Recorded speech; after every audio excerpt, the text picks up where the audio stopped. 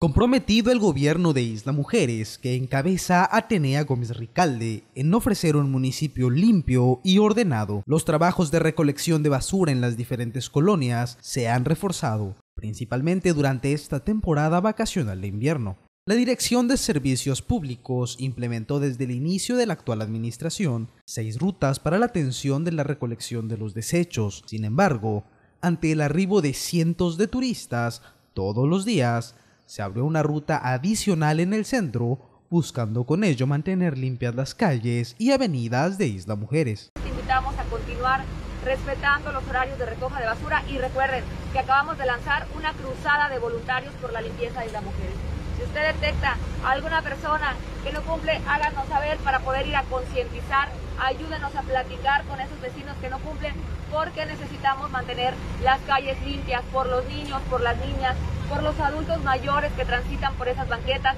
y por la imagen turística que tenemos que mostrar para que nos vaya bien a todos en Isla Mujeres. Jesús Ríos Chalé, director de Recolección y Transferencia, explicó que aún con las carencias heredadas de la pasada administración, gracias a las gestiones y compromisos de la alcaldesa, con la adquisición de nuevas unidades, hoy por hoy no existe basura acumulada en las calles. Para Notivisión, Israel Espinosa.